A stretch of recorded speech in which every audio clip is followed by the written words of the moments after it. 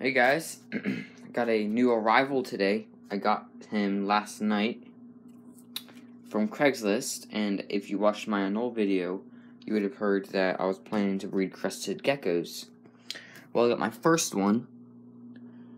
It's right there. He's not a year old yet, but I know I'm gonna wait about a year and a half to two years before I start to breed him. Um,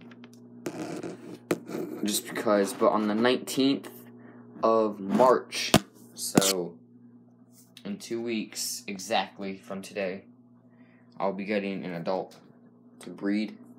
So I'll have three geckos in total. He is uh, a real nice guy. His name is Ponyo. People that I met on Craigslist were super nice. Um, yeah, they were real nice people. Gecko's awesome. They got he's got a nice big tank. Yeah, some of my pajamas. But the plants we got we got a regular bamboo in there. Here I'll close this window. We got a regular bamboo in there, and then we have um some kind of palm tree. It's it's like a if you can read that. Bella palm. That's what's around it. This is the lay box. Then you got a single bamboo strand up there. The lay box is awesome. I love it so much. There's like a little, um, it's like a little hideout in there so they can feel safe and secure when they lay their eggs. There he is.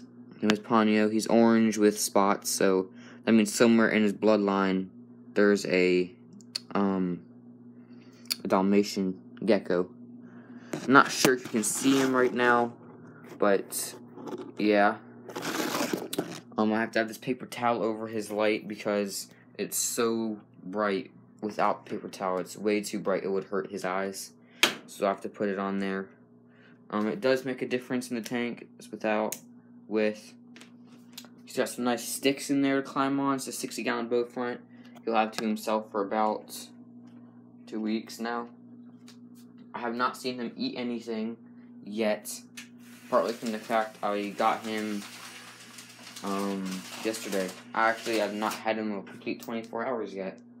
So, I do plan to breed soon. Um, have everything you need to breed him with. I'll have a care video on him very soon. Very, very soon. Um, I hope you guys enjoy this video. And hit a subscribe. And I'd love that so much. Thanks.